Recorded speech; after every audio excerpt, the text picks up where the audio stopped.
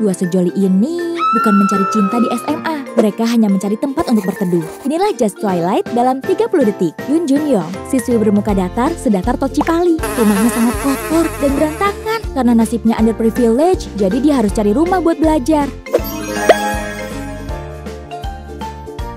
Tapi ada orang lain yang ternyata juga tinggal di situ. Ini Kwon Bom Jin, teman sekelas Junyong. Wajah emang kayak tukang pukul, tapi dia ada sisi perhatiannya loh. Selain dapat rumah buat belajar dan tinggal, mereka bakal dapat bonus jatuh hati juga nggak ya? Baca Just Twilight hanya di Line Webtoon.